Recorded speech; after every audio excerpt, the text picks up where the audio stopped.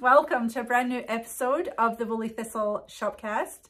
I'm your host Corinne and my co-host Maggie here and we run the Woolly Thistle which is an online yarn shop that specializes in woolly wools, mm -hmm. mostly non-superwash and things very close to the sheep in the land and we love everything, don't we? Yes. Yes, we do. so if you're new here, welcome and thanks for checking us out. If you are returning, thank you so much for coming back. We do appreciate you and we love your comments and keep that coming because that'll cheer anyone up on any day. Mm -hmm. Yeah, so thank you for that. We appreciate how, how much you enjoy the Shopcast and the yarns we have here at the Woolly Thistle. So, um, just to mention, we're no longer running ads on new videos. Uh, we are sponsoring these videos now so that you don't have to deal with watching ads, which can be really, really annoying. Mm -hmm. So this is an ad-free zone and we just ask that you support us in any way you can. That might be just watching, leaving a comment, um, sharing. Sharing. Yes, definitely. We want to grow our YouTube here, I think we've got just over 16,000 subscribers, which is amazing. And we want to keep that growing. Um, you can also uh, join our Facebook group, Maggie. Yeah. Uh, Ravelry group. What else do we have? Oh, our email list, things mm -hmm. like that. So yeah. support us that way or come shop. That is great too, definitely. And um, we now have a PIPS program. Yeah. Which I don't know that we've talked about here. We might have before. I don't remember. It's fairly new. Mm -hmm. uh, sorry, I'm just getting all the housekeeping. Yeah, that's okay. Start with the housekeeping. Okay, housekeeping. So PIPS is what we call points in progress. It's a loyalty program. So now you get PIPS when you uh, shop with us or share something or it's all it's all outlined in the shop website. You can just click on the little icon that's on the page and it'll tell you everything you need to know. Um, and we're really excited about it. We're seeing people take advantage of it, growing their pips, cashing their pips in when they're shopping.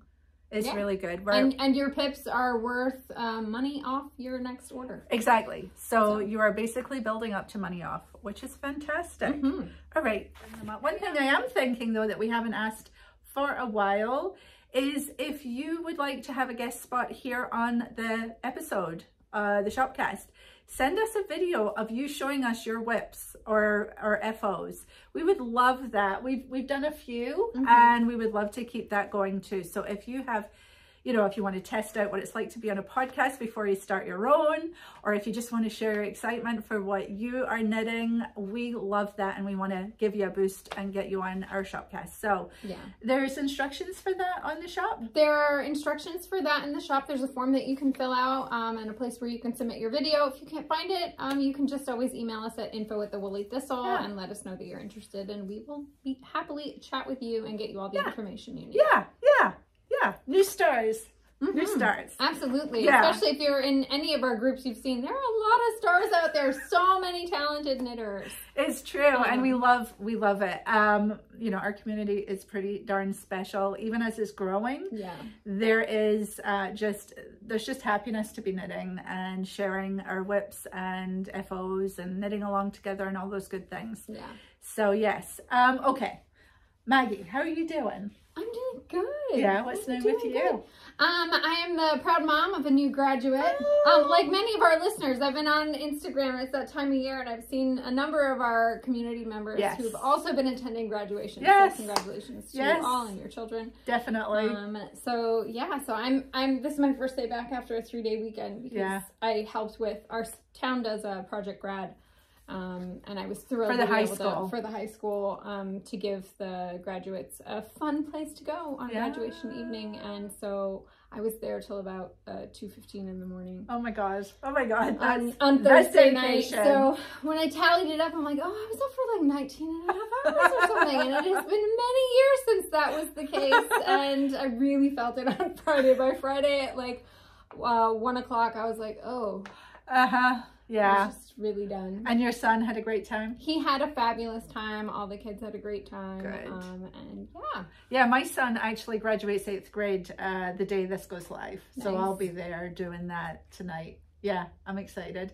I think he's ready for high school, you know. Yeah. It's time. We have a very small uh, elementary school that goes K through eight. And by the time they're finished eighth grade, they're sick of the sight of each other Um, or at least that's what I think. Uh, he doesn't actually express that, but yeah, I think they're ready for. I went to a really small uh, grade school, Yeah. middle school, and it was it was bittersweet. Like we were, I was certainly ready to like go to the big world where Yeah. more was offered, but at the same time, Yeah, we Well, you like, know- oh, there's so many people. Like I don't know everybody. exactly. You know, in Scotland, uh, you you go- you start high school at age twelve. Oh wow. So here it's 14, right? Yeah. And uh, so I suppose sort of, I don't know, you you really only go for four years. So you, you and there, I, I don't know what it's like now, but there's no graduation. You just finish after fourth year or you can stay on for a fifth year or a sixth year if you're going to university, that sort of thing. Okay. But most people, at least when I was there, was uh, leaving after fourth year, which means you're 16 and you're going out into the work world. And that's what most people did Yeah. and do. And I just heard that Nicola Sturgeon has been arrested. She was the leader of, uh, of, of, um, I don't know if she was in the, I don't know if she was in the opposition or I, I can't remember, but she's a big name in Scotland. She's just been arrested, I heard this morning on the news, which is bananas. Terrible. Anyway, off we go.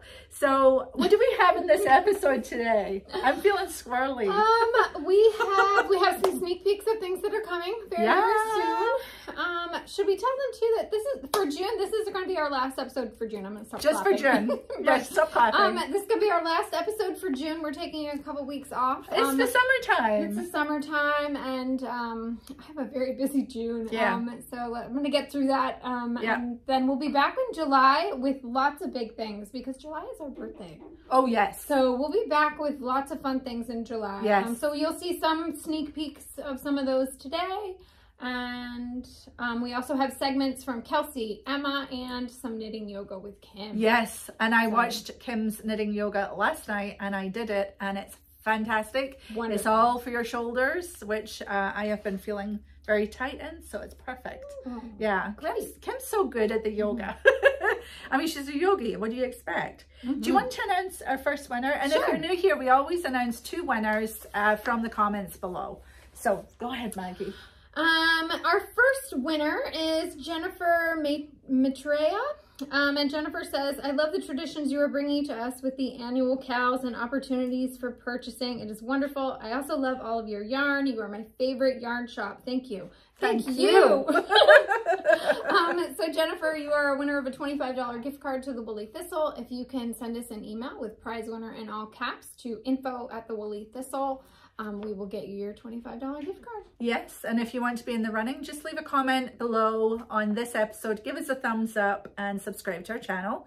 And you too could be selected at random uh, from all the comments. Yeah, And thank you to Caitlin who does that for us. absolutely. Yes. So are you wearing anything, Lily? I am not. It is No. that time of year. I've Yeah. got on our notes. What are you wearing? Well, you're wearing your shawl. I have thrown my shawl on because it's a little chilly. It's going to be like 80 degrees. I later, know. But I'm wearing my shawl now. I am not wearing anything, but let me tell you, I was knitting in public on Sunday, not so much on Saturday, the day itself, but I was at a soccer game for my son, Mhm. sitting in very hot, blazing sun with my Dunrobin in my lap, feverishly knitting away with sweaty hands. I think everyone thought I was bananas. I, I might agree with them, but I'm almost finished, so There we go. That's exciting. I'll show you when we get there. I have been thinking, like this weekend, um, I was at, I had a church event on Saturday and it was freezing. In the church or absolute- outside? Yes, I was absolutely freezing. Um, because like most buildings inside right now, we are not turning on the heat. It is June. No. Um, so it was just a little It's just chilly. cold. And I had a sweatshirt on. Um, but there was a woman at, like two rows in front of me who just had a lightweight sweater on, and the texture of it, I'm sure it was just a store bought sweater, but the texture of it looked very um it looked a lot like Saona. And it Oh. had me thinking like, ooh, because I'm often grabbing for this store bought cardi right now. Yeah, Um lightweight and thin. yeah, and I'm like, you know, maybe that's what I need is a lightweight summer cardigan. Oh yeah. Because I would totally wear that a lot. Yeah, if you don't know what Saona is, it's a new release from WoolDreamers Mhm. and it's a 50-50 cotton Yeah. wool blend and it's lovely. do, we have, it? Yeah, it's a basket the basket up there. Okay. There we go. It's lovely. And yes, it would make a lovely little really cardigan like what you're wearing. Yeah. And I think like I'm trying to think of like what do I actually wear in my wardrobe. Mm-hmm. Um Yeah. and I'm trying to slowly just replace those Yeah. pieces with hand knit pieces. Yeah. I Um, think um, I also wanted to mention that Saona, which has got a lovely label, this is from Spain, 50-50 wool and cotton. It's got a lovely woolly feel to it and it it's got that sort of pebbly feel that I really yeah. like. Um, but the Violet Tee by Jessica McDonald, mm -hmm. we were mm-hmm. suggesting this. Yeah. Um, and I think three balls will do it for most sizes, yeah. maybe four. Um, That's the nice thing about fingering weight too, is that you don't need that many balls mm -hmm. of mm-hmm. yarn. Yeah. These are 50 grams and mm -hmm. you mm-hmm. get 240 yards in there. So yeah, th this is lovely. And it does come in a lot of natural shades and then these, uh, the blue and the green, which is very sweet. Yeah. Yeah. So um, it's not a cardigan, it's a little tee, but right. actually wearing a little tee would be nice as yeah. well. Mm -hmm. There's a lot of them out there that you can. There are, there are yeah. a lot of. So I might be on the hunt for a pretty pattern. So yeah, we have this. Uh, it's been selling like little baby hotcakes. Mm -hmm. And uh, but we, but we did get a lot in, so mm -hmm. we mm-hmm. still have yeah. stuff if you want. Um, sorry, that was rather yeah. impromptu. Yeah, no, that's okay. Um, it was just what I'd been thinking about. Yeah. Sometimes. So, so do, you, do you think you're going to cast on something for that? Have anytime soon. I've got a couple things lined up that I'm like, I really want to get these things done and moving. So yeah. I'm trying to resist casting on another sweater. I really want to knit my oldest a cardigan before she goes back Aww. to school. Yeah. Um, which will be be me knitting with worsted weight wool in right. August once right. again. Yeah. Yeah. Last, last, I think last You gotta August, do what you gotta do. Last August I cast on a Léttlopi sweater. so, in August, yeah. it's bananas. Yeah. And, but you know, that, that's us And though. it was delightful. yeah, you enjoyed it, I think right? I started with the sleeves and it was fine. Yes, actually, that is a really good strategy. If you're knitting something where you can knit the sleeves bottom up, that's what you take out and about. Mm -hmm. It's like your lightweight knitting and it, it could be in Let yeah. Lopi and, and, and our house stays pretty cool. So if as long as I was in the house, um, it really wasn't bad. Yeah, yeah, so yeah. What which sweater was that? It was my Riddari. Oh yeah, mm -hmm. yeah, that's yeah, nice. and that got a lot of wear this winter. So yeah, yeah. Well, that's the thing, you know, if you want something for the winter and you haven't knit it last winter, you're gonna have to knit it in the spring or summer or fall or something. Mm -hmm. So knitters are gonna knit, and yeah. we're we're all knitters for the capital K, which means we're daily knitters, and doesn't matter what the weather's doing. That's right. Love it. Yeah. Love it. Thank you so much for your encouragement and comments about the loom purchase and the weaving. Um, fantastic. Really appreciate it. I'm excited to get going. I did not get a chance this weekend to start and I really want to start when I can finish right. the warping because I don't want to confuse myself any more than I'm likely to be confused. Also, I brought it in and it's it's in the space uh, next to, it's sort of like a nook next to the kitchen and it takes up about half the nook. It's much, much bigger than I thought. So I, I have been clearing out my bedroom, which is quite large, and I've got a space for it there. But that means I've got to take it all apart again and get my son, who's not the most coordinated guy, carefully help me move it out of the house, down the driveway and back in. My okay. bedroom has uh, big swing open doors, oh, nice. which is nice, and get it in there. And then I think it won't take over the house quite quite as as obnoxiously as it currently is, you know. I think my kids are offended um, that such a large piece of equipment that looks very strange. Yeah, and I, I you know, I mean, yeah. fine, but I also kind yeah. of agree. If I want to have a couch and a bookcase, then um, it's got to go. Then it's got to go. Mm -hmm. So, but thank you. Keep it coming. I'm excited to get going. I just got to get it moved and I got to figure out when I can get that done. And I, I really kind of, I just put it all together and now I'm like, uh, I got to take it all apart again. Yeah. So, and it's, it's a big job, but we'll get there. Um, Maggie, should we talk about what we're knitting right now? Yeah.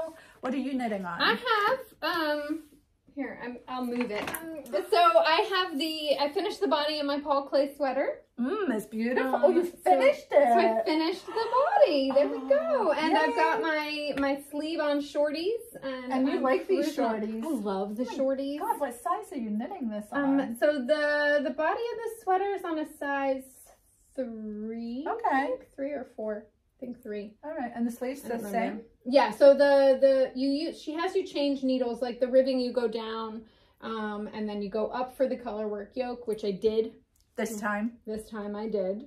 And it worked. It's great. um, and then you go to like a mid-size yeah. needle for the, the body. Yeah. Um, have you blocked any of this yet? I have not blocked any it's of it yet, which is why it's still like a little no, but it, it's, it's actually looking really good. yeah, it'll really, I learned from the first yoke um, Mm. that it will flatten out Yeah, um, and smooth out and spread Yeah. a little bit. it's so beautiful. The colors are, it's like a kaleidoscope. It's like those things that you used to look through and see all the Mhm. different colors. Yeah, That's what that is. it's, it's really pretty. yeah. I'm really happy with it. So Yeah. This has been great too because the past few weeks have just been busy, and Yeah. so Zoom, zoom. yeah, Just, just, I don't have to any think. shaping? Nope, No. straight. Okay. Fantastic. Straight. So I measured about how long I want it. I think I'm on track. I haven't tried it on yet. Um, so yeah, it looks great. I held looks it up. great. It was fine. Yeah. Um, so I Good. think it'll be it'll be good. And the sleeves won't take too long. Full length sleeves though. Yeah, I'll definitely do full length sleeves, Yeah. and I'll wear that more. Yeah. Um, as someone who's always chilly, I'll just wear it. I love long sleeves. I actually even like them a wee bit longer and then folding them back. And Mhm. yeah. So so that's that. I've been working on that. But show them how much of your cone is left after So- knitting a sweater. I mean, you still got sleeves to do. Yes, still But a quite a bit of the cone. Yeah. Like there's a lot, Ah. which is good because um, for those of you who've been watching, I have a second yoke. um, and I will knit the smaller size for my youngest daughter, yeah. who is 13. So, Yes. um, Perfect. so she was very excited. She's she's not a woolly kid either. So the fact that she was like, "Yeah, I would wear that," It's so pretty. it is so pretty. It- it's so I'm, I'm hoping that she'll. She, I think too. My sister for Christmas bought her like a store bought sweater, which um she's she's worn a lot. Good. Um, much to my surprise, Yeah. it is very soft. So sort of like a gateway sweater. sweater into So I, I think that it's made her realize like, oh, yeah. maybe I could wear sweaters. Yeah. So Yeah. I'll have to make sure she has like a nice shirt for underneath Yeah. it so she's not itchy because she is She's a little itchy, a little yeah, sensitive she's soul. very sensitive. Bless her heart. Um, and then I do have one other little mostly finished. no, you have it. Oh, we're not doing FOs right now, are we? Oh no, it is finished. Well, she still needs her dress. Oh my gosh. I love her so How much. adorable. I know she's so cute. She's so cute. So this is the Nana Duck pattern from Moosh and Friends. Um, Which is the book just- from, we don't have it, it's down there. Mission Friends. Seamless Toys and To Knit and Love. There you yeah, go. it's just it's so good. Yeah. Um, so the the pattern does have a little dress. Um, I have the yarn pulled out. I've just I I need to be like awake and enough to focus because it'll go step by step. Oh my god, look at the raccoon. I know, adorable. Are you going to knit any more after this? Oh, yeah. you, you've enjoyed knitting it. I have enjoyed knitting it. Um, it's just really genius. I've knit a lot of toys. Um, and the way that she moved seamlessly from the Adorbs. From the you start with the tip of the beak and then you really just build her on down. And she's lovely. She's absolutely lovely. Uh, very clear instructions, lots Yes, of fun. The yes. kids have been making fun of how big I stuffed her butt. um, it's beautiful. But yeah, I, I love it so much. She's Yeah. so cute. Yeah. My well old- done. My oldest was funny. She was like, "Why did you knit a duck?" Why not knit? understand your question. Why not knit a duck? Right, right. Yeah. Yeah. I had a pattern. I had to knit the So you're going to knit the dress that she has, which is a sideways looking dress. Yeah, so I've knit um I knit my duck with J&S two ply. Um and the dress, so I've pulled out some colors of J&S Ah, two ply. Probably fun. not quite as many colors as she has, but I'll do the striping dress. Yeah. and it'll be so cute. So cute. So that's, Gorgeous. That's what I've been well done, to. you. Well Making done, you. New friends. um, as I mentioned a minute ago, I was knitting on my Dun Robin, nice. which we're going to be launching early July. Mm-hmm. So watch out for that. There'll be details in our newsletter. Mhm. Um, we'll have a course and we'll have kits. And so, of course, this is the Dun Robin in Léttlopi here, Mm-hmm. which uh, is very nice. And This is then nice. my um, Dun Robin in uh, Studio Donegal Irish Heathers. And I love this purple colorway. It's so pretty. Yeah, all the colors are good though. They're all they're all quite dark, but great base, you know, Mhm. colors. Um, and I love the one I did in charcoal as well. But um, this is this. I did this as a test knit. Everything's finished up with the test knitting. And yeah, hard to show you. It's a big sweater, but I finished one sleeve. And the sleeves are so fast because you're literally starting it here on your arm and down. Nice. And I just finished the other sleeve last night while watching The Crown. I finally succumbed. Finally succumbed, huh? Mm, I started on, I started That on, face you have started watching. I have, I, out of sheer desperation for something to watch, I'm like, I need something. And I started on season four because that's, you know, where Diana gets introduced. And that was my formative years living in the UK. Oh, I really enjoyed the earlier years. Where I've actually dropped off have been some of the newer seasons. Oh, really? I need to get back into it, yeah. Well, I, I, I grew up in Margaret Thatcher's Britain and it was tough. There was no work and kids like me leaving school were sort of shoved into these youth training schemes, which basically paid you nothing to be the skivvy. it was very, very, it was tough times. Um, and watching Margaret Thatcher played by Gillian Anderson, mm -hmm. she is excellent. She's got her down. Yeah. I actually find, strangely, uh, Margaret quite endearing the way uh, she's playing her, which is going against everything in my fiber. yeah. But um, fantastic, fantastic show. I mean, thoroughly engrossing. Yeah. So I might go back and watch the older ones, but um, in the older ones, um, there was an episode that was about Prince Philip's formative years, mm -hmm.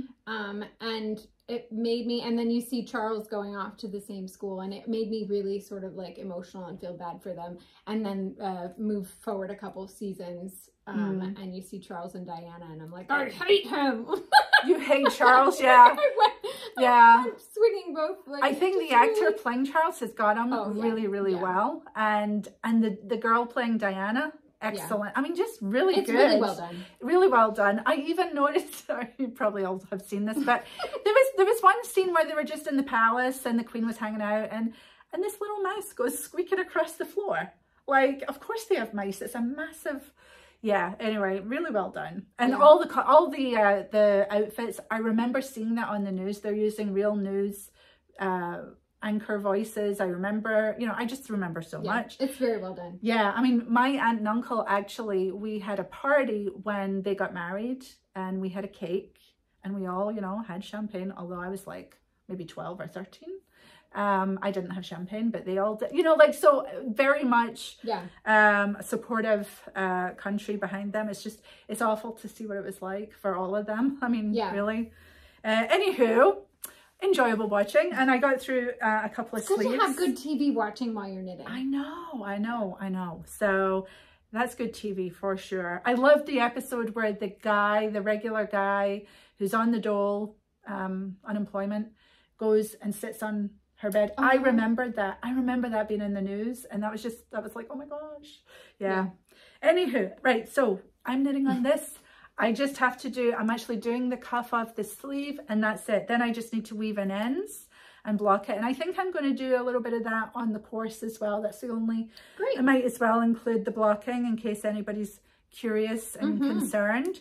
But the course is recorded now, so it's just uh, being edited. Wonderful. And I know that Josh is getting ready with all the yarn for Studio Donegal mm -hmm. for Léttlopi and Rauma Vams. Yeah. Because uh, Emma has knitted um, a test knit in Rauma Vams and it comes out excellently. Yeah. And good gauge for the pattern. So we'll be offering kits in that too. Yeah. So go ahead and mark your calendars for July 7th. If this at all interests you, it will be uh, releasing on July 7th.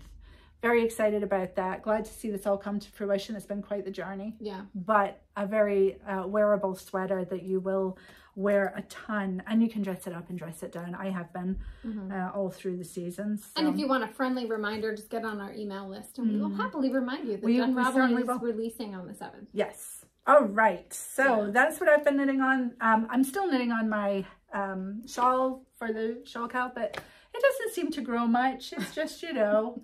Some of those, when the rows get a bit longer, yeah, yeah it, does, it takes time, but that's yeah. okay yeah, I'm going to keep on it. I'm really, really enjoying it. In fact, I'm very sort of lace curious at the moment. Um, did you see Birlinn Yarns? Is it Marum?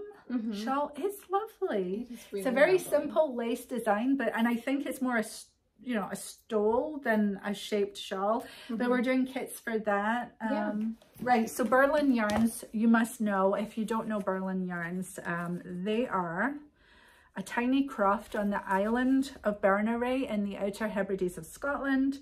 Meg there is an artist and a, a shepherdess, a crofter, and she has sheep this color. They're Hebridean sheep. This is a very, almost black, dark, bitter chocolate color. This is natural. And I love it. Look how dark Yeah, that's I know. It's their peaty brown. That's peaty brown because they have a lot of peat in the soil and I'm sure that, you know, um, helps color things that the sheep are eating. So, um, so yes, and then she has bog cotton, which is 100% cheviot, which is a beautiful cream. Yeah. And then when she mixes them together, you get various grays, which we don't have here. We might be out of stock.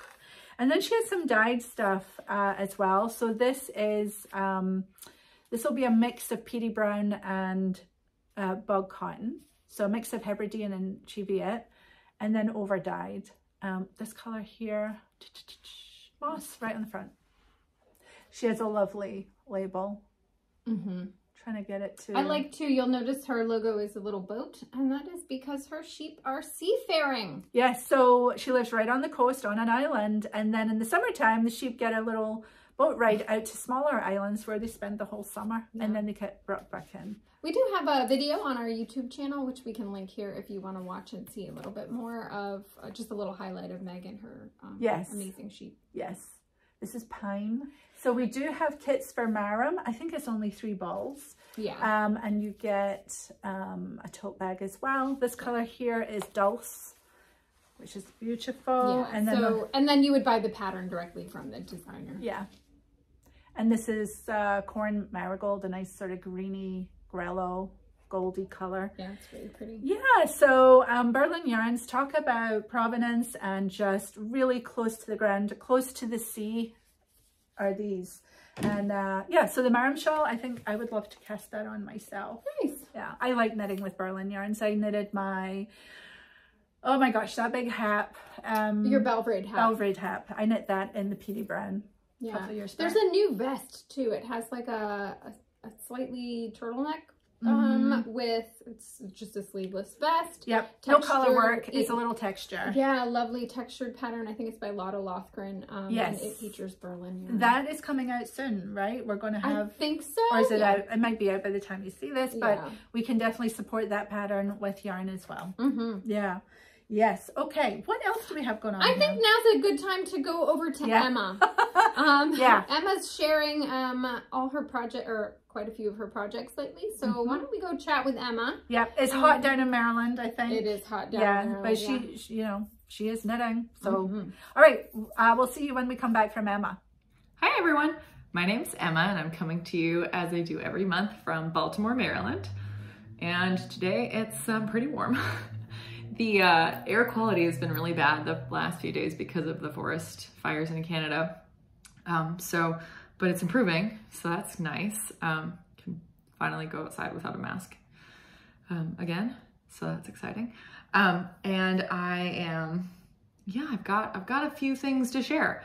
Um, I don't have any FOs, but I have uh, some WIPs and some things I want to talk about with WIPs. And also, I have a project that I'm going to cast on sometime this summer that I'm going to share with you that's very woolly and fun. So, um, I'm sure that many of you have experienced this kind of thing in parts of your life as a knitter or a maker. Um, but I'm really going through one of those times where it's just like there's a lot of WIPs. And I kind of tried to start 2023 with fewer WIPs. And like the idea was to keep fewer WIPs on the needles and just kind of work through just a few.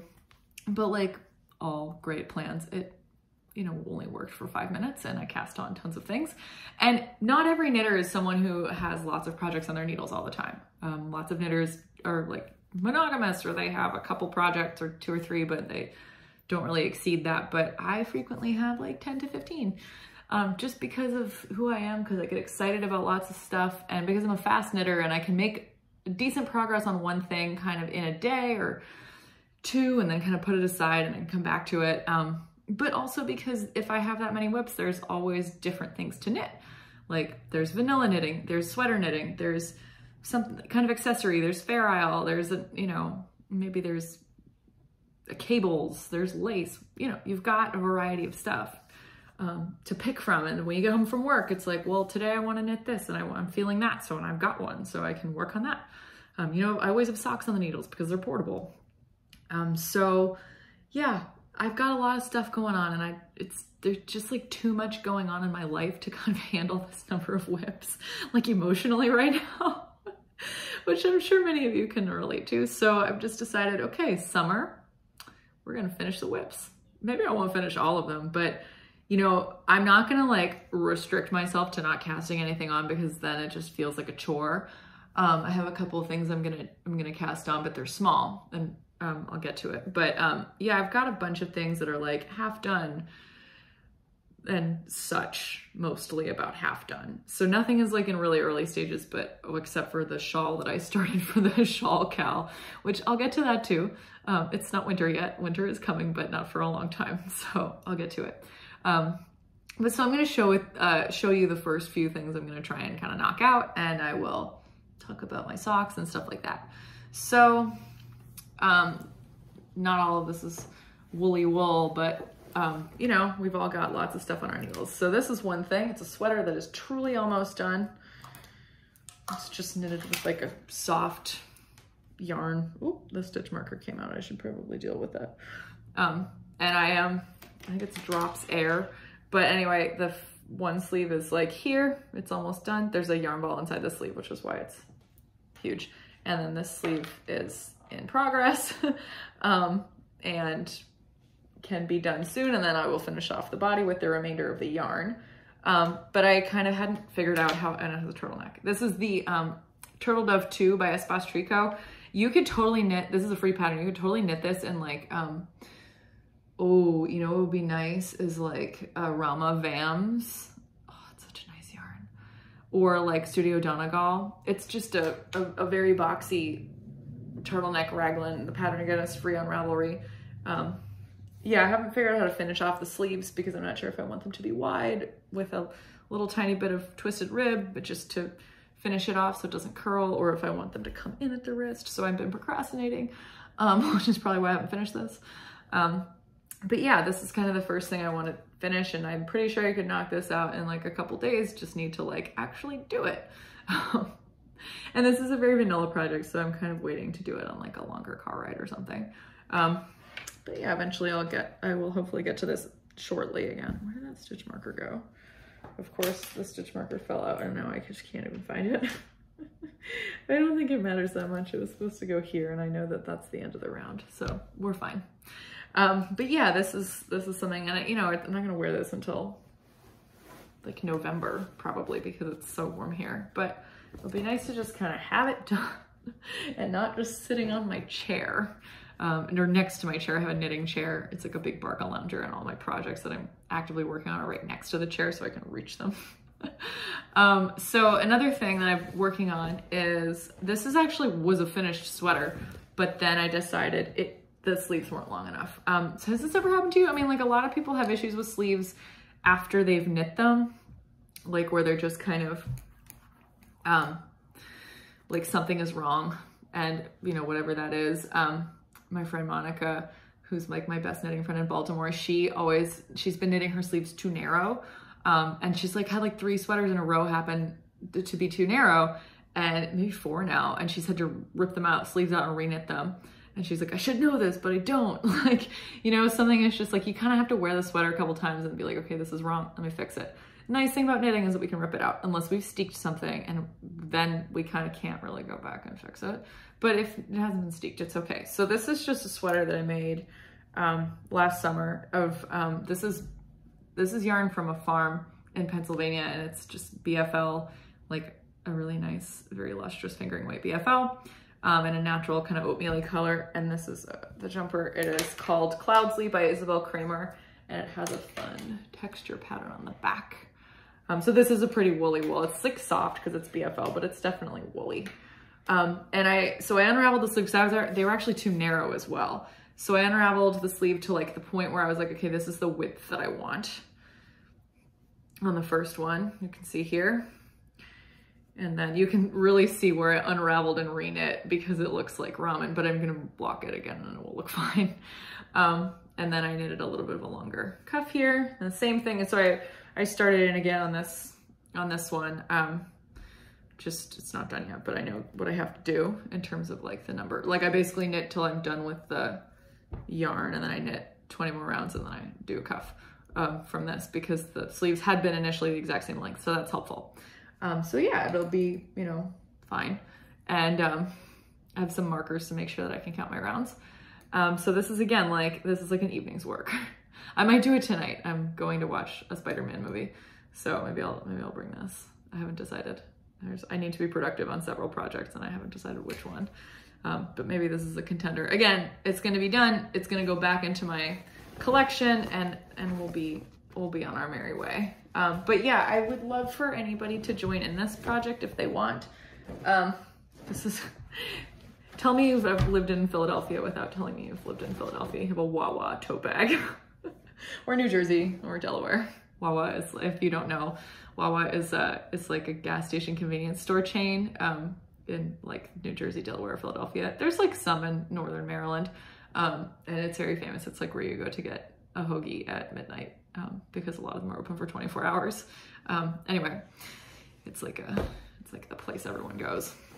Okay, the last thing that is like, I've been really working on this um, is my Inclinations Cowl by Andrea Mowry. This is in handspun, so lots of fun handspun. There we go. Um, action going on here.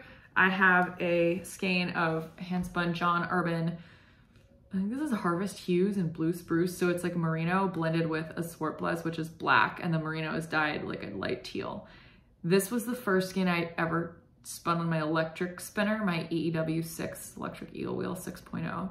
I really like that spinner. If you're interested in getting into spinning and you don't have the space or the budget to buy like a wheel or you're not sure if you want to spend that much money or have something take up that much space in your house, um, I would recommend trying the electric eel wheel because it's not very expensive compared to like a serious spinning wheel. Um, they run about $300 and you, um, yeah, it doesn't take up very much space. It's portable. I really like it. I've been gravitating towards that more than my wheel a lot in the past few months just because it's I can do it on the couch and not have to like sit up and treadle. Um, so this is the first one, and then this is just like a fractal combo spin of a bunch of stuff, which is the color changing yarn you can see in the cowl. So I'm alternating so that one row is um, like the teal and then one row is the barber pole. And I think I'm gonna run out of this. As you can see, it's much smaller. That's because I spun this to a much thicker weight. Um, they These weighed the same, but this one was just thicker. It was more of a sport DK and this is more of a fingering weight. So I'm spinning another one of just like teals and greens that are in my stash and I don't care if they match, like it'll look fine. um, it'll be great. So I'm excited about that. That'll be nice. Um, yeah, just kind of getting through that. I actually have another top that I was knitting um, out of hand spun that I ran out of yarn for like halfway down the body. So I got another bump of fiber from the um, supplier and I am um, I'm gonna spin that as well next to then be able to finish that top. It's red, it's really fun. Um, but again, finishing projects as much as I can. Right now, even my spinning projects are just finishing projects because I'm trying to spin more of something to then finish the knit. Okay, but I am, you know, as I'm sure many viewers know, I love Fair Isle knitting and I want to knit some Fair Isle this summer. Um, I don't, I'm already working on my Setta stall cardigan, which I would show you, except I haven't really made any progress on it in like the last month. Um, cause I joined, or I, split off the, I made the sleeve steeks and then I, um, knitted a bit and then I realized I wanted to rip back and put like a couple more bands in and then I didn't center the pattern and I'm like, this would not take long to fix, but I don't really want to sit down and like give the mental capacity to this to fix it right now because it's one of those things and I'm like, you know, trying to be more forgiving of myself for that, and like letting that sit till I'm like, okay, I have like an entire Saturday morning and I'm ready to get back into this project and like really start working on it again. Um, but I would like to knit a couple of like Isle hats or something this summer because they go quick and it's fun to play with colors. Um, and again, they're not very big, so they don't like sit heavily on your lap. So I'm gonna make the Bug-O-Floor beanie, which I'm sure many of you have seen the pattern for. Um, it's from the Shetland Wool Week pattern of the year. Um, and you can get lots of kits for it at the Woolly Thistle. So you, if you don't want to put together your own colors, which is what I'm about to show you how I did, um, you can get a pre pre-planned color scheme from the Woolly Thistle. They've put a bunch together for you. But um, if you haven't seen the Bug-O-Floor beanie, um, you should check it out because it's really cute. And it's it's um, got flowers on it. It's designed by Allison Rendell. Um, and then there's some zigzags around the flower motif. And then there's some more flowers up at the crown and then it closes. So you can do it in like two colors or you can do it in like, I'm gonna do it in six. So I have one background color, which is Rauma Lamullgarn in color 12. I have a bunch of these and I really like this color as like a kind of cool neutral. I feel like I have a lot of Jamieson and Smith Supreme Jumper Weight colors that are like really warm neutrals. They have a gray in Jamieson and Smith Supreme, but it's kind of a darker gray. It's not like a light gray and all the other ones are like in the brown family, not in the gray family. So I like this Rauma Lamullgarn in color 12 for a kind of cooler tone because I wanted to do this with blues. And the um, version of the hat that really inspired me to pick my colors was the one that it's a, it has a black background, three different shades of gray for the flowers and one um, pop of pink in the middle and then it has some like purple or something around the outside. Um, so it's pretty monochromatic. There was just a couple of pops of colors. Maybe it was a blue in the middle. I can't remember. But it was monochrome and it had two, it had a big pop in the center, but then it had like another like different color that was a color and not just in the grayscale. Um, anyway, so I decided to do mine with blues, with gray, and then these three blues. So these are all Jamieson and Smith, two ply jumper weight, and three blues. They don't like, they're not super, you know, close together. Like this one's obviously teal, this one's kind of, the, this one's a, a quite a bright blue, and this one's got like a little bit more gray. So the darkest one here is shade FC41. This one is shade 16. This is the middle one. And then the lightest one is FC15 mix. So these are gonna be the flower, and then the inside of the flower is gonna be Jamieson's of Shetland Spindrift in copper, which is gonna go right up against this latest blue for a pop. Um, I like blue and copper together. Um, I think that the copper really pops without being too bright.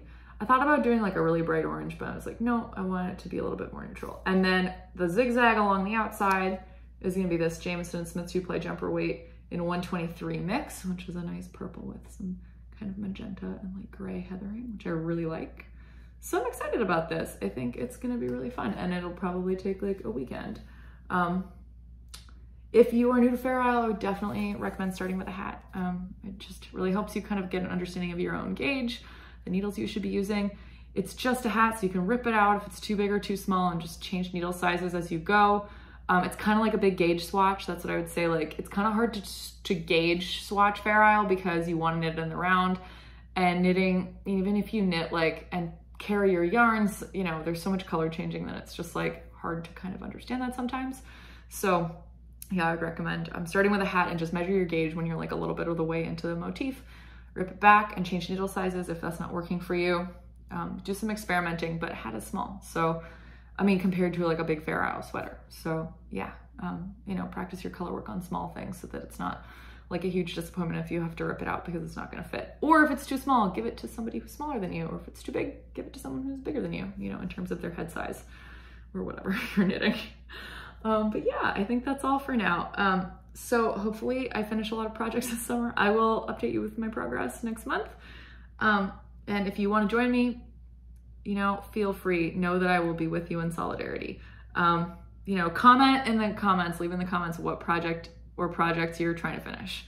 Um, you know, accountability is great. So um, I hope that everyone's having a fantastic start to their summer. It's crazy that it's June already.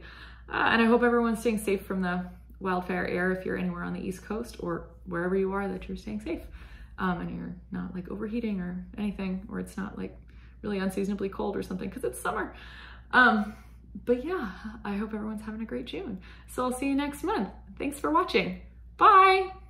Thank you, Emma, for sharing your WIPs with us and uh, yeah, showing us all that you've got going on. Yeah, I'm glad to know I'm not the only one who occasionally just has these moments where you've got to be like, okay, I'm going to stop here. I'm going to clear the needles. Well, um, we're doing that this month with Call Your Nuts anyway, right? Yeah. Yeah. Um, do you want to? So yeah, I was going to say. So we we've titled it "Caw Your Knits." Do you want to explain what cawing is? So cawing is what um, our friend Rachel would do on the hill in Fair Isle, which you know they're bringing in the flock that is out on the hills. Yeah. yeah. So so uh, a couple episodes ago, we had mentioned the idea of going through all our project bags, cleaning them out, putting needles back where they belong, extra yarn back in the stash or wherever you put your yes. remaining yarn. It's um, cathartic. It will be good for us. It is. It's kind of good to have a, I know we're near at the end of spring, but good to have a nice spring tidying of all the project bags. Yes. So um, I'm going to try and get some footage of me doing this at home. Um, Me too. So in moving things around with the loom, um, I've been forced to look in the massive closet in my bedroom, which is just piled high with bags of yarn Mm-hmm. and projects that I forgot I had. So I will be culling my knits as well. Um, and I think this is a good exercise and Yeah. it'll be great to get organized. Yeah. So um, if you're doing, if you're joining us and calling your knits, um, there's no hard and fast rules or anything. It's just tidying, bringing things out, tidying up, Yep. um, and getting things in order to however you want them. Yes, be. it's just, you know, getting Um, your needles all put back and organized. Yeah. um, getting things off the needles if they are just not going to move forward, you know, kind of call it. Yeah. And, uh, or, you know, Or your, finish it up. or finish it, get your WIPs organized so you know what you're doing.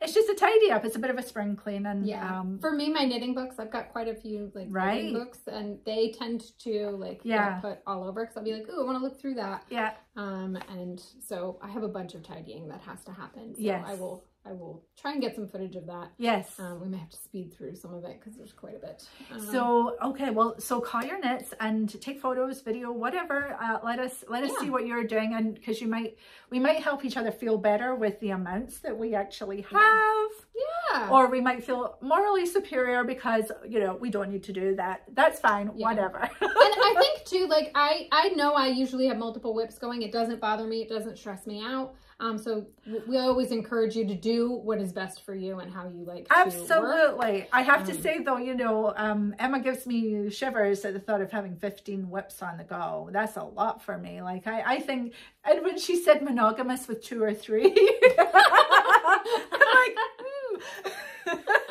opposite of monogamy. but but yeah, I think too. Like I do tend to have a couple going. yeah Um, but I am currently like so I'm trying not to cast on another sweater, even though I have sweateritis. I really want to. Um, I want to take some time to think about what I want to be knitting on next. I know I want to do the Latvian mittens. yeah. I have my kit for that. hmm And I think I do want to knit a summer tee and it, probably the Violet Tee by Jessica in, um, how do we say it? Saona? Saona. Saona. And um, and I don't know what else after that, but Yeah. nice, quick, summery knits. Probably socks. Socks! We have lots to talk about socks. Mhm. Should we go to Kelsey first and Yeah. see what Kelsey's talking about? Uh, she's actually doing some crochet, Yeah. which looks fun. Mhm. Um, and when we come back, we will announce another winner. We'll talk about socks and what else we've got to talk about. So go watch Kelsey and come on back. Hi everyone, Kelsey here coming in just to talk to you a little bit about some projects I've been working on, um, some things I've been thinking about, and just some general knitty, woolly goodness. And actually I shouldn't say knitty because my first thing is crochet. But, so this is my first thing that I wanted to show you. And it's big, so I'm gonna hmm, back up. Look at this basket! Oh. So this basket is crocheted. It's crocheted on an M hook, so a nine millimeter hook, which is actually quite big, which I'm a fan of because I'm not, I'm not the best crocheterist in the world, um, and this just makes it go super fast. So what this is is a, it's all my scraps. So if you're like me, I keep all the ends of all my projects, whether it's four grams or 40 grams or whatever. I keep all the little balls, um, and this is made with those balls all held together. So this in different spots because because of the thicknesses of the yarn is somewhere between five and eight strands. Um, I used everything from light fingering through to Aran weight yarns. Um, if you see a, a pretty prominent stripe, it's probably because there's a thicker yarn. So like this orange was a thicker yarn. Um, there's sort of a cream or cream colored thicker yarn in here. It just has a more prominent effect because it's thicker. So what you do is you start, this is a free, I made it from a free pattern that I found on Ravelry, but there's actually a ton of these kinds of free patterns, so I'm not, not shy about talking about it. You cast on in the middle here. Do you cast on for crocheting? Whatever. You start in the middle here, and you start crocheting in a flat circle, which my circle is not terribly flat, but it's fine. It's the bottom of a basket. Um, I actually started out with like slightly thinner amounts of yarn held together, which is why it's a little floppier. I would do it thicker uh, if I did it again, and actually I, I am doing it again. so I am working on another one, so I can show you that one in a second. Um, but you start here, and in the first round you single crochet twice into every stitch, and then the next round you single crochet once and then twice into the next and then once and then twice into the next and then you continue that so in this in the next round it's crochet single crochet into two and then twice into the next. Um, and that makes your your circle grow at a, at a rate that makes sense and hopefully makes it be flat which it didn't quite do for me but that's probably because I was not counting the most accurately. Anyway it doesn't really matter.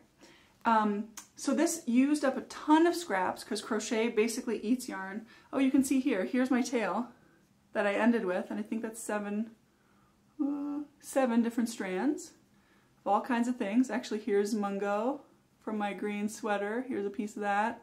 Um, there's some other ones in there that I, there's Strickegard. Anyway, so you hold all these together and you crochet them all as one big fat strand and that gives you this really nice stiff um, fabric. Has a nice structure. All of my ends, if you can see them, are on the inside. And I will, I will trim them, I haven't yet, but they're just knotted together. They're just square knots because each time one ends, there's so many other strands reinforcing it that it doesn't, if it pulls out a little bit, it probably doesn't matter. And because this is mostly wool, there's actually a little bit of cotton and some other stuff in here. Um, it's the same as a sweater. It, it won't really pull out unless it's pulled on, which I don't intend to do. So I will be, the, so you intentionally pull all of your knots and your tails to the inside, and then I will cut them all off. I'll probably leave a little bit so they don't pull out, but it doesn't matter because it's the inside of the basket. Um, it also has these handles. There's one on each side, and that's just chaining across, starting again, and then on the next round, crocheting into the chain. You make your little handle. So I've got my two handles on my two sides. And I think it's very cool. I've used up quite, I had baskets of these little scraps and I always thought, oh, I'm going to use them for color work. I'm going to use them in projects. I'm going to use them for stripes or stripey socks or all these things. And all those are wonderful projects. But this is such a functional item and it's so satisfying. I started, I actually started this last Saturday and it took me like three days of not doing it that many hours a day like one or two hours a day it's very very very fast because again big fat hook big fat yarn nice structured basket. Anyway that's just an idea that I wanted to share that I've had a lot of fun with and I've had a lot of fun to the extent that here's the second one.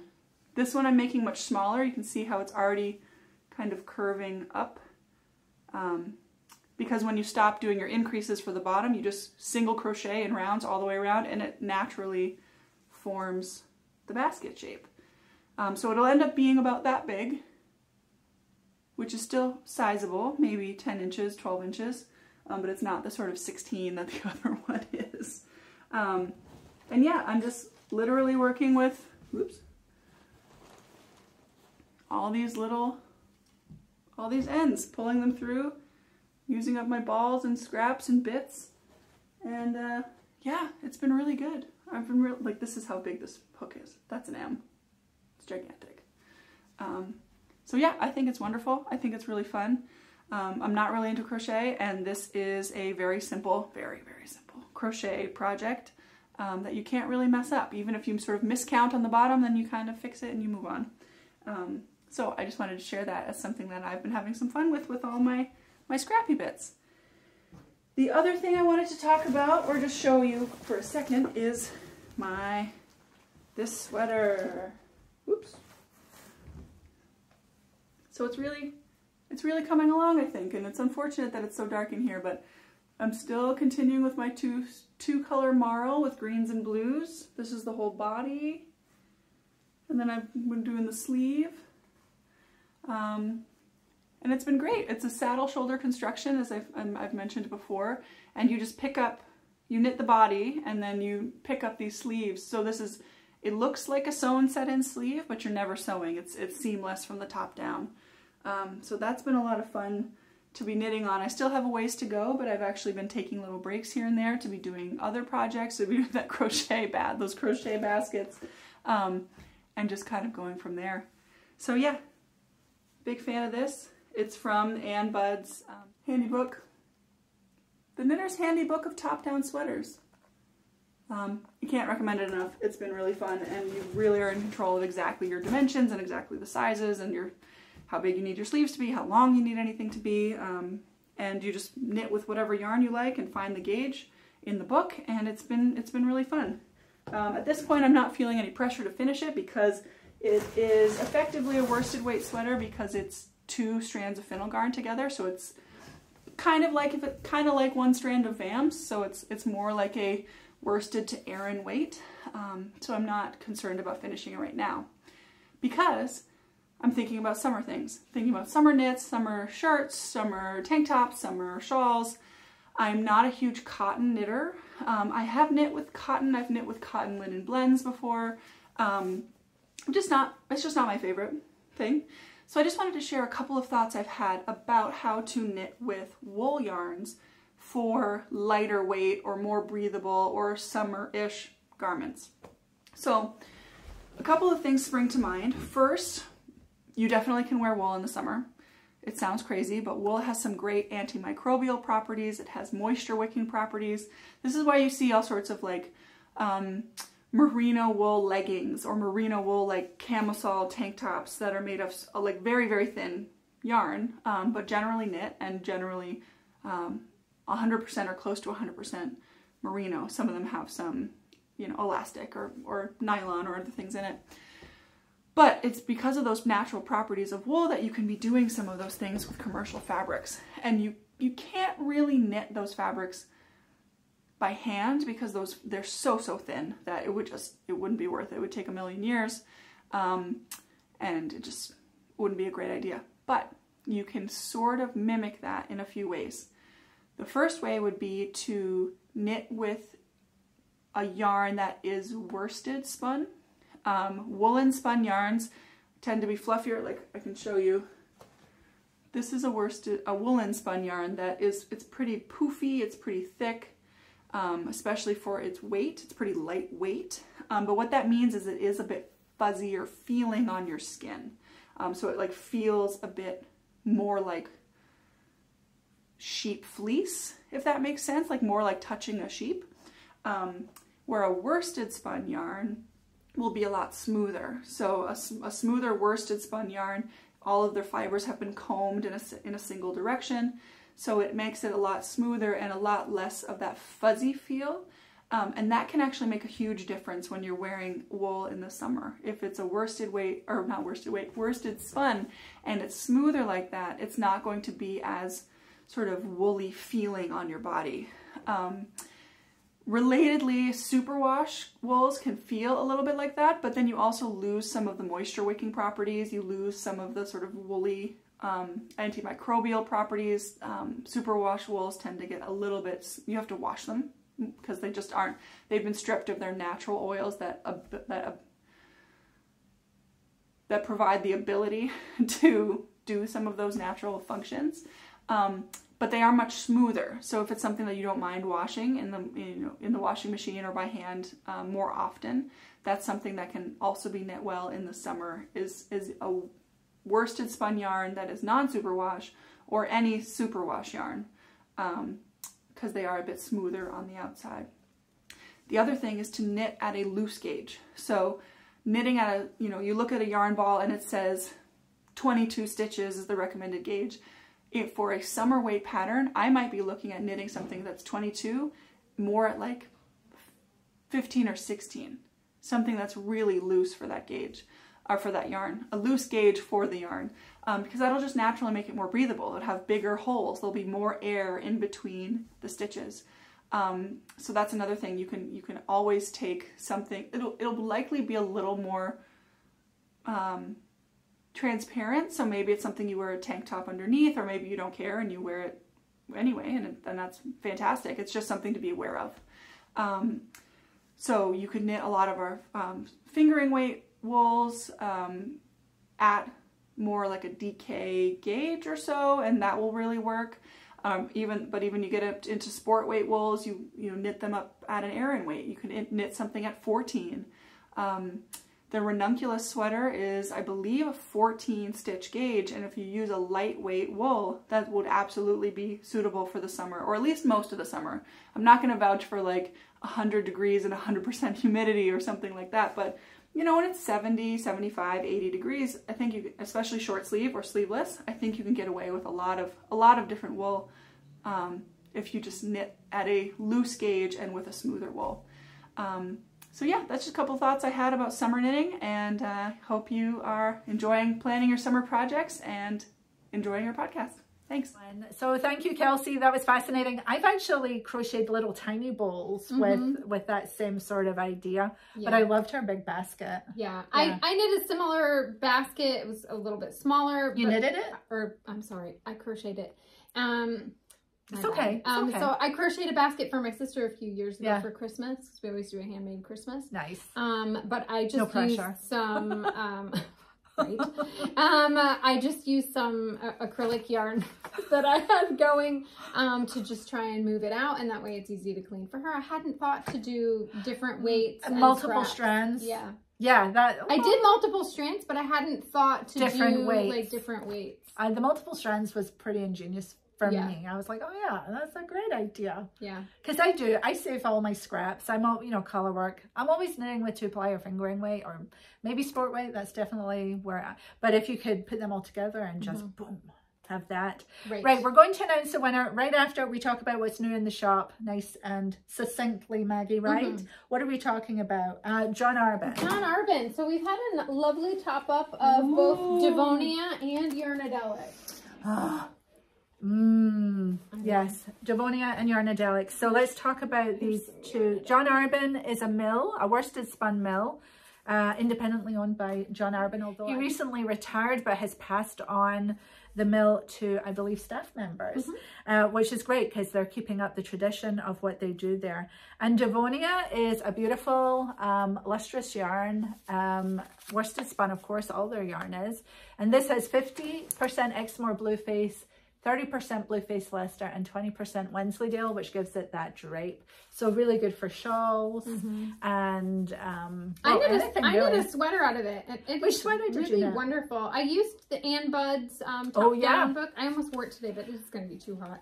Um, but it is, it was really lovely. It's, it's so nice to the hand too, mm -hmm. isn't it? Um, I started my ranunculus. Uh, vintage viewers will remember the ridiculous ranunculus. so it's you it's, did it in this color. Yes, and it's in timeout. That's one of the things I'm going to find when I call my... And I've there been thinking go. about it and getting it maybe going again because I just was making such stupid mistakes. It was ridiculous. So anyway... Now that you've conquered lace, it's a good time to rip out and start again. Conquered lace might be a little... No, no, the, uh... conquered it. but I'm enjoying it. Stop mindset. so much of life is though, don't you find? Yes. Oh my gosh. We I think Saona would look great for a ranunculus. Yes, it would. Just gonna throw that out there. Yes, it would. It would look, it would look woolly and fluffy Short and light. ranunculus. Yeah. Well, that's a good idea. I know, I know. I don't know why I'm doing this except that I, I love the feeling of all this yarn. It's so pretty. It is so pretty. So we have Devonia mm -hmm. and we mm-hmm. have Yarnadelic. Yes, Yarnadelic. Um, I, I love all things John Arbon. I love the heathering. I love the colors. Um, I find I've personally been very attracted to Corriedale lately. Um, all my spinning has been Corriedale. Um, and Yarnadelic is 100% Falkland Corriedale. Um, it is wonderful. Yeah. Um, it's, it's got a lovely hand. It's soft. It's woolly. Um, yeah. So there's just so many gorgeous colors. Which is fascinating because I was just watching Margaret Thatcher taking Britain to war over those Falkland Islands. Yes, mm -hmm. that was very eye-opening for me because I'm going to fully admit I had no idea where no, the Falkland Islands oh, were yeah, located. Yeah. And I was like, you are where? Off the tip of Argentina somewhere. Yeah. yeah. No, that yeah. was a big war that um, Britain uh, definitely got into. yeah. Um, but the way they blend their colors is really lovely. Beautiful. Yes. Um, so yes. Yes. All uh, of these are available in the shop now. Yeah, this this feels lovely. It feels wonderful. So if you're looking for, I know we had a comment on the last video um, of somebody asking us to sort of not yes. rank, but talk about yarns from softness um, to um, more coarse or rustic. Yes, I would um, go ahead. And so I think if you're looking for a yarn that is sort of a, a next step from merino, um moving into the rustic realm where we love like, like this is very much not this is not rustic. rustic very easily you could wear this next to skin and Like, that that's a function of the worsted spinning i, I on top think. of Corriedale I think being Sure. like a um think it's a medium wool um it's a little bit stronger than merino yeah um but it's not at all But I think the, the Um, worsted spinning of it, you know, organizes all the fibers, puts them all in alignment. And so you don't have like, you do get a smoother yarn. you get a smoother yarn. Mhm. Yeah. So it's not going to prickle you um, if that's what you're afraid of. Yeah. Uh, none of this is super washed. It's all natural. yeah So check these out if that is of interest to you. We just got Mhm. stocked up after a long time of not having it. So we're Yeah. very happy to have it. Yeah Back here. Okay. wonderful Maggie, we want to talk about our sock sprint, which Yes. comes in July. mm-hmm. And do we have dates for that? We do. Um, we'll put them here on the screen because I don't remember them off the top of my head. We're a little crinkly. Yeah. But I do believe don't need to put Danielle um, of Old World Knits, I think is her handle. She actually said the she appreciated the ASMR and a little bit of crinkling. So there you go, just for you. yes, indeed. So we have the sock cal coming up, or the sock sprint. So there's Mhm. the dates. Come knit a pair of socks with us. It is a personal challenge to knit a pair of socks in two weeks. Some of you will fly through and knit several pairs, maybe, and the rest of us may not even finish a pair. But it's a Right. personal summer sprint challenge, which is very exciting. Yeah. And so we will be supporting the sock sprint, of course, with our sock bags. And we have last year's sock bag to show you, which is just delightful. And uh, we have another one, another artist render, uh, rendering of Joy, our knitter, uh, hanging up her socks. So we have a new one coming. We'll put a picture of it here. It's actually in production. Uh, as we're recording this, it will be um, either on its way or here uh, when you see this on Friday. So we are calling this a pre-order, uh, but it'll be very quick when we send yeah, it it out. shouldn't be on pre-order very long, but since the totes aren't here quite yet, um, we want to factor that in. Yeah. Yes. So, um, but we will ship, we will start shipping out because these bags are already made. It won't take long to just add the bag and ship it out to you. Yeah. So Maggie, do you want to show um, your choice of um, I do. yarn sure, in this yeah. bag? So, so this bag um, features one skein of Rambler, um, which is at the top. Mhm. Um, it has one skein of Mondim by Retrosaria, yep, three skeins of Rauma Vandre. yep, which Um, is the thicker soft yarn. Yeah, so you get um, two for a main color and one for a contrast color. And then one skein of a new yarn from Biches & Bûches, which is Le Sock. Le sock had to Um, had to include that, So- um, and it's a brand new sock yarn, so we we're very Yeah. excited to include that. and this is just one example of the colorways. Right. So we will be choosing the colorways of your bag as per usual, which is what we do, but you get to know what yarns are in the bag. So that's one bag. Yeah. And the other bag I have here is wonderful. It's got a skein of Rambler, which is our very own yarn. It has two 50 gram skeins of John Arbon's Exmoor sock yarn. It has three skeins of Gammelserie, which is Rauma's sock yarn, and a skein of West Yorkshire Spinners. Mm-hmm. So how much yarn are they getting? I think they're getting a ton. They are In a getting a ton. Yeah. We were able to reduce the price across the board to $99.95. Last year it was over 110 Yeah. So yes, The other thing not pictured, but that is on its way, is you're going to get a printed pattern for a Rauma pattern. Um, the Gammelserie bag, the pattern is for Gammelserie, and the bag that has Vandre, the pattern is for Vandre. yes. And there'll also be a pattern suggestion card, which is always very popular in these bags. We, we go through a bunch of patterns and suggest for the yarn included in the bag what a good pattern would be. And some of them are free and some of them are purchased. And yeah. So um, do you have another sample to show? I do. So this is another variation of the bag that includes um, Rauma Vandre, Rambler, um, Retrosaria Mondim, and um, Biches & Bûches Le Le Sock. sock. Yeah. So you can see all of the Biches & Bûches Le Sock um, yarns are marled. Yeah. Um, and they're, they're quite lovely. They're loosely spun, but they're they're designed and made specifically for socks, so Yes. they will hold up. So you Um, might uh, knit with these on a on a smaller needle just to get that tight fabric. Yeah, and they are an 80-20 wool nylon They have nylon blend. in them. Um, and then as you can see, this Mondim is a solid color. Um, so the bag is going to be mixtures of either speckled or solid. Okay. All right. And then another sample of the other bag. We have a skein of uh, Rambler here, which is lovely.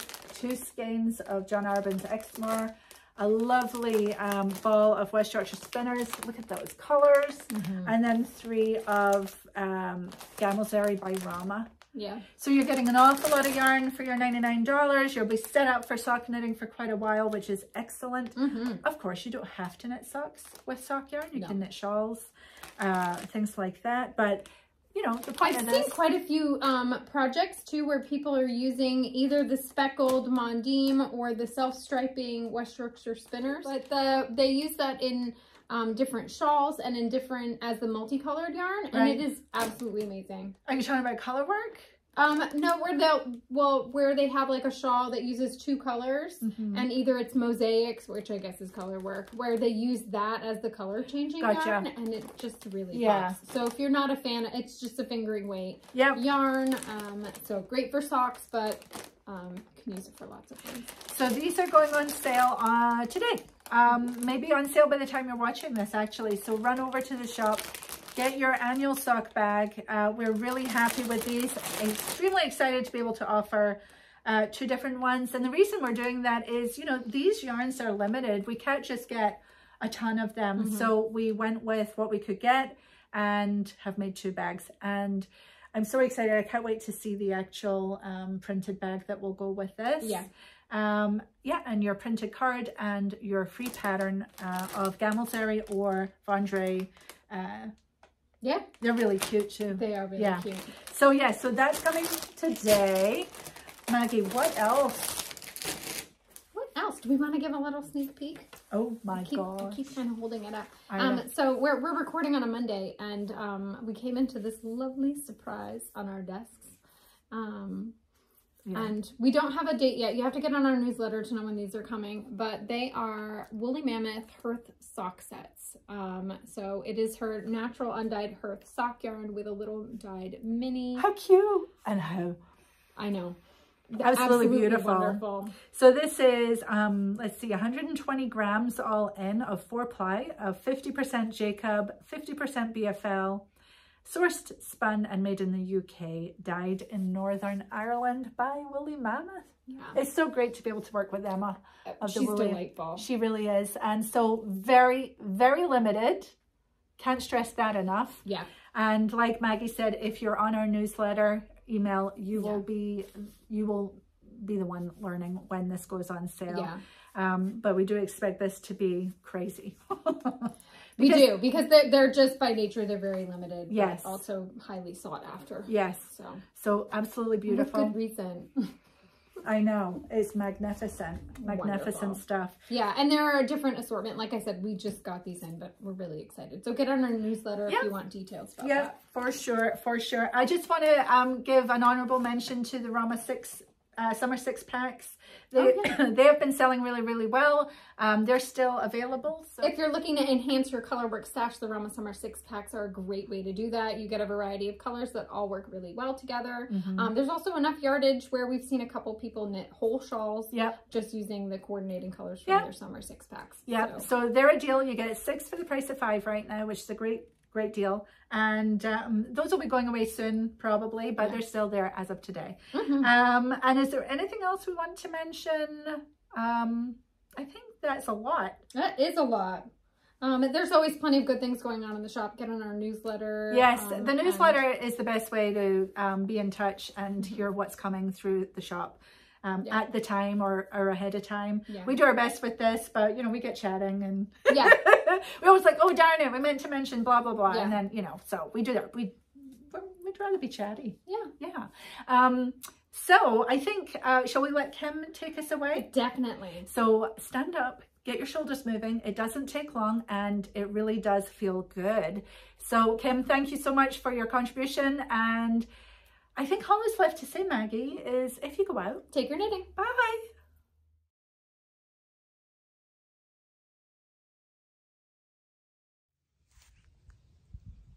Hi, I thought we'd do yoga today in front of the garden and greenhouse, seeing as this is where I spend most of my time these days. So it's so important to take breaks and move our bodies so that we, when we're working hard, like out there, so that we can go inside later and to do what we love, to decompress and relax.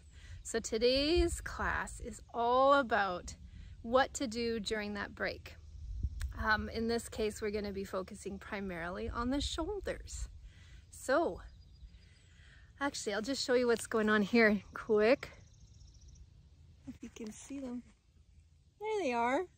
There's the chickens doing their thing. And there's Tilly doing her thing, making sure the chickens are okay. fun. It's so fun being outside these days. But it's hard work, right? So we don't want to be sore. We want to have a break. We want to take care of our body so that we can keep doing what we love. So this is how it's going to go today. Stand in mountain pose.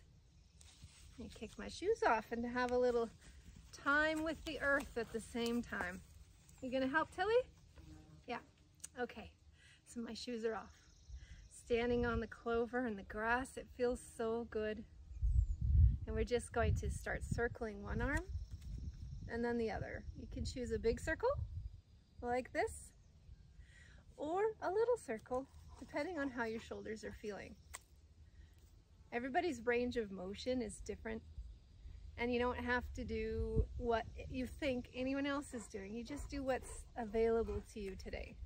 So big or small circles and engage the core, engage those core muscles. So you're doing your back crawl and you're squeezing those muscles, you're cinching your corset up so that you're not wiggling all over the place, right? You're in control and the abs are engaged, which is really good awareness to have because at other times, many other times in our day, we do need to be engaging our core to protect our spine. Let's take our arms in the opposite direction now. Hi, Tail. She sees hands and she thinks that means she's going to get a pet. you should be watching the chickens. Mm -hmm. Good, so we're opening that shoulder joint. We're definitely taking an assessment of where we're sore and what needs a little more stretching. And we're warming it up. Perfect. So just come back to your mountain pose now and stand here. Eyes closed and just notice how the arms and shoulders feel. What is the sensation down your arms and into your hands? Good. Now inhale uh, arms all the way up. Exhale them down into goal post. We're squeezing the shoulders together. We'll just breathe a bit here and notice it. So the shoulders are opening a bit here, but the shoulder blades are being moved together, squeezed together. So we're getting a big opening through the front of the chest. On your next inhalation, bring the arms up again. And then exhale, I'm just gonna turn so you can see. You'll interlace the fingers behind your back, just like that. So we have a nice rotation through the shoulders and we're rolling, externally rotating the arms out to open through the chest. Alrighty. On your next inhalation, you're gonna lift the arms up as much as they'll go. Doesn't have to be a big movement. And then bend the knees Exhale, fold forward, and imagine you have a friend right behind you, pulling your arms up and away, lifting you up and getting a beautiful stretch through the chest. Release the head, let the neck relax. And then with the knees still bent, we're going to inhale all the way up. Release the arms and bring them above your head. Take the arms down to your sides. So now look like a capital T. Take another big inhalation here. And then we're gonna swing the left arm underneath our right, squeeze, wrap, and lift. Now we've got the opposite thing going on. Our shoulder blades are pulling apart from each other. Just breathe into it. And you know, you breathe 360 degrees because your ribs go all the way around your torso. And so when you breathe in, imagine your ribs are expanding, not just through your chest, but along your sides and along your back because they are. On your next exhalation, we'll open the arms out to the sides. And this time it'll be left arm under right. Whoops, right arm under left. Did you catch that? Lift and stretch. I have one student who swears that when she feels a migraine coming, if she does this stretch, she can stop that migraine because it obviously is coming up from tension in her back. So if that's you, this might be helpful. Awesome. Release it. Come back to mountain pose. And let's see if we can speed it up a little bit so that we're moving with our breath. Let's start with some circles. Let's do um, inhale, exhale. Inhale, exhale. Close your eyes and make it meditative. Exhale, inhale, and exhale.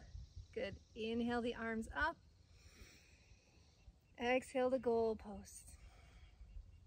Inhale the arms up. Exhale, clasp them behind your back. Inhale the arms up and the knees. Exhale, fold forward, reach the arms up. Inhale, release, bring the arms all the way up overhead. And exhale them to your sides. Inhale left under right. Exhale out to the sides. Inhale right under left. Exhale out to the sides and then release them down. Good. So that is a wonderful way to take a break. I hope that you enjoyed your practice with me today and that no matter what you do during the day, whether it's out in a place like this, or it's typing at a keyboard, or it's playing with grandkids, or whatever it is, but at the end of the day, after you do your yoga break, your reset, you can enjoy some wonderful knitting and feel good. So until next time, namaste.